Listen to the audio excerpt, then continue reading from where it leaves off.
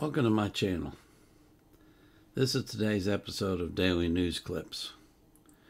But before I get to that, I do want to thank you for coming to my channel, for watching my videos, and for supporting me.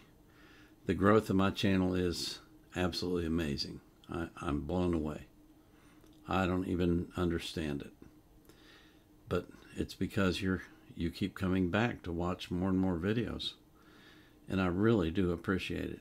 And I love the comments that I get. So thank you very much. In today's news, my first item is an article by Ayaan Hirsi Ali entitled We Have Been Subverted.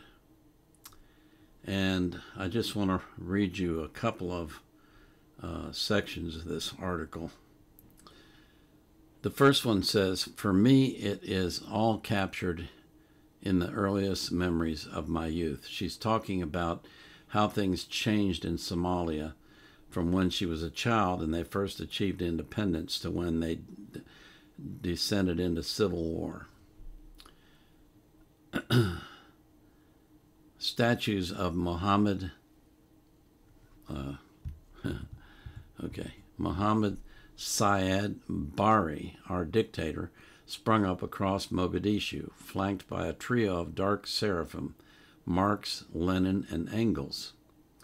This particular communist experiment plunged Somalia into plunged Somalia into bloodshed, mass starvation, and a 20-year period of suffocating tyranny. This is a story that's been told over and over again in every nation in on earth that has gone into communism. This is not news. But the reason I'm sharing this with you is because it's good for us to become aware of the experiences of people who have been through it because we tend to, especially in America, and I think pr- probably somewhat in Europe as well, we tend to take our freedom for granted. And we need to be reminded that freedom is precious and that it can be taken away. And this explains how it can be taken away. I recall my grandmother and mother smuggling food into our house. I also remember the whispering we felt the state was. I also remember the whispering we felt that, that the state was omnipresent. It could hear everything. The West's inheritance springs from a peculiar confluence of habits and customs that have been practiced for centuries before anyone branded them as ideas but they are principles, radical ones, that have given us the most tolerant, free, and flourishing societies in all of human history. Among these principles are the rule of law, a tradition of liberty, personal responsibility, a system of representative government, a toleration of difference, and a commitment to pluralism. Each of these ideas might have been extinguished in their infancy, but for the grace of God and the force of their appeal. Perhaps it is because I was born into a part of the world where those principles were non existent that I feel a particular love for them and an instinct for when they are in danger. Right now, so many Western nations are under grave threat from the twin forces of cultural Marxism and an expansionist political Islam familiar to me from my youth. I think this entire article is well worth reading, and of course, as I always do, I'll put the links into the description field. This next article I want to read to you is um, one that I found very interesting. I, I try to stay away from politics as much as I can, but sometimes it's unavoidable. And this is the case. As some of you may be aware, Donald Trump was recently convicted on 34 felony counts in New York City a lot of people feel like the conviction was, or, the whole trial, in fact, was politically motivated. And so this news is interesting because it shows that there is a large swath of Americans that apparently agree. Uh, says breaking Trump campaign has raised 200 million since the New York City conviction. 200 million dollars. That's mind-boggling. I have to tell you, I don't give to polit- I don't give money to political causes of any kind, not to politicians, not to political causes. I just try to stay away from that stuff entirely as much as I can. I don't believe it does any good, but uh, apparently a lot of people do. The Trump campaign has raised more than $200 million since President Donald Trump was found guilty by a Manhattan jury in DA Alvin Bragg's falsified business records case on Thursday, according to Trump's son, Eric Trump.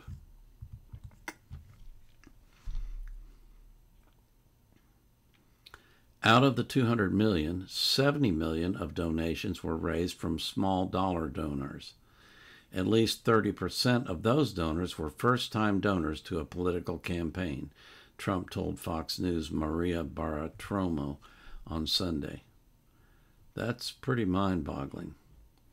The 200 million was raised in a matter of just three days, which far surpasses any amount raised by President Biden's campaign in a similar time frame. Within 24 hours of President Trump's guilty verdict, the Trump campaign received $53 million in donations. The Biden campaign raised a total of $51 million for all of April. So something is going on. Uh, people are reacting to this uh, conviction in ways that I think are unexpected at least were by a lot of so called experts who thought this would be the end of Trump. But uh, apparently it's not. And this next article is related to that. It's titled Voters Get Brutally Honest About How the Trump Verdict Backfired on Democrats. I'm all in with the MAGA people. Uh, I just wanted to read a couple of items in here. Kate Nickey, a lifelong Democrat who lives in New Jersey, told the Free Press that she is now considering voting for Trump. I feel the need to send a message to the Democrats that their dirty politics will not be rewarded, Nickey said. I'm no fan of Trump. That said, I have a huge problem with contorting the law or using prosecutorial authority in the name of saving democracy, which has been the Democrats' message for the past four years. And then there's another individual, Adam Mortara, told the Free Press that the true danger to America is Biden and the Democrats. What's gotten me off the sidelines is that he does not, if he does not win, and by a rather sizable margin, that will validate this type of weaponization of the judicial system in the future, said Mortara, a lecturer at the University of Chicago Law School. Voters are not only supporting Trump with their words, but they're also throwing their hard earned dollars behind his campaign effort. In the 24 hours after Trump was convicted, the campaign netted 53 million in small cash donations, a third of which came from first-time donors. Now, that, keep in mind that that information is from the Trump campaign, so I don't know if it's been verified to be true. But anyway, uh, it, it's just to me, it's a um, it's an interesting uh, response or reaction to the news that he was convicted. You know, normally when when someone is convicted, a politician is convicted, people think negatively of them, but apparently that's not true with Trump. This next one is Our Spy and Intelligence Agencies Are Out of Control. This is by Michael Shellenberger on Public. Um, Starting in 2016, United States government intelligence agencies, news media, and establishment leaders in both political parties warned of a vast Russian conspiracy to interfere in elections. After the election of Donald Trump in 2016, the intelligence community reported that Vladimir Putin had favored Trump and aided his election through Facebook ads, Twitter bots, and other means. The following year, Trump's deputy attorney general appointed a special counsel to investigate allegations of Russian interference, a connection to the Trump campaign, and obstruction of justice. Every major allegation proved to be wrong or profoundly misleading. According to every serious political scientist, Russia had no measurable influence in the 2016 elections. There was no flow of money from Moscow to Trump through a secret bank account. Russia favored Hillary Clinton for stability and continuity, not Trump, whom it viewed as chaotic. In 2019, the special counsel said he lacked evidence to charge Trump with either colluding with Russia or obstructing justice. So, um, part of the reason why I chose to share this with you is because it's not just the U.S. intelligence agencies. If you read about the um, what they call Russiagate, you will find out that the British, the Australian, the French, and the German spy agencies were also involved. So these problems are not just isolated to America; they're they're across the world. Um, I think our in in general, not picking you know not singling anyone out, but in general, uh, spy agencies have have gotten pretty much out of control, and they're they're operating in a rogue manner that's outside, I think, what the public would expect them to do. And so that's kind of troubling. This last article that I have is Air Force Academy graduates call it quits before their careers begin. I just highlighted the first two paragraphs. During their final year of the Air Force Academy, cadets chose the special job, choose the special jobs that they will be assigned while on active duty. This crucial decision, made in the nascence of one's career, has far reaching implications with regard to career advancement. The Air Force Specialty Code links available jobs with an alphanumeric designation, and not surprisingly, pilot training represents the most popular AFSC for graduating cadets at the AFA. But the second choice is astonishing for cadets who have received a four-year education worth 416,000 at an institution that is tasked to train career Air Force officers. The minimum commitment for an AFA education is five years of active duty service, and the AFSCs that obligate cadets for the least amount of payback time represent the second most popular job selections in the aggregate. The act is known among cadets as Dive in Five, and it is born of disillusionment and the realization that DEI entrenched military leadership, quota based promotions and failing standards are not what they signed up for. So I've read about this type of thing before. It's it's not just the Air Force; it's impacting all of the American services.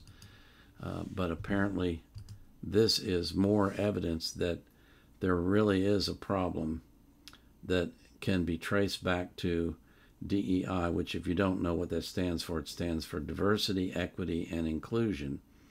It's an academic theory, and I'm not going to even try to summarize it here, but suffice it to say that it's rooted in Marxist theory, and it is, uh, I would call it racist, because it promotes people based upon color and gender and things like that, and not on merit. And that to me is just wrong, especially when you think about the military service. What you want in the military is you want the very best people that you have available to be serving because you're going to be fighting and you're going to be fighting for your life so you'd better be pretty good at what you do. But you know, that's just my opinion. Okay before i end this i have to remember i forgot yesterday. I got to show you my shirt so here it is can you see that I promised I would do that in my daily news clips, and I will try to remember. I, I added a note at the top of my my. Uh, um, I keep a, a, list of which I update every day of the songs that I'm going to uh, react to, and the news articles that I want to talk to you about. And I have put a note right up the top. Don't forget to show your shirt. So hopefully I won't forget anymore. And I apologize for not showing it to you yesterday. That's the news that I have for today. I want to thank you for coming to my channel. I want to thank you for who you are, and I want to thank you by praying for you. I pray that you will have an abundant life, that you will live a long time, that you'll be healthy, that God will keep you safe from harm, and that you will be born again if you're not already. I thank God for doing the same thing for every single person that you love. And I pray most of all that you will be anxious for nothing, but in all things, through prayer and supplication with thanksgiving, you will make your requests known to God. And the peace that passes all understanding will keep your heart and mind in Christ Jesus. This is the Vietnam era vet out.